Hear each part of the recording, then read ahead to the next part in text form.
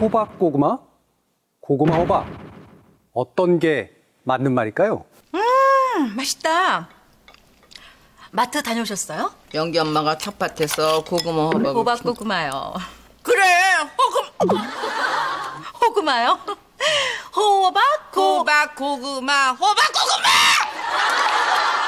호박 고구마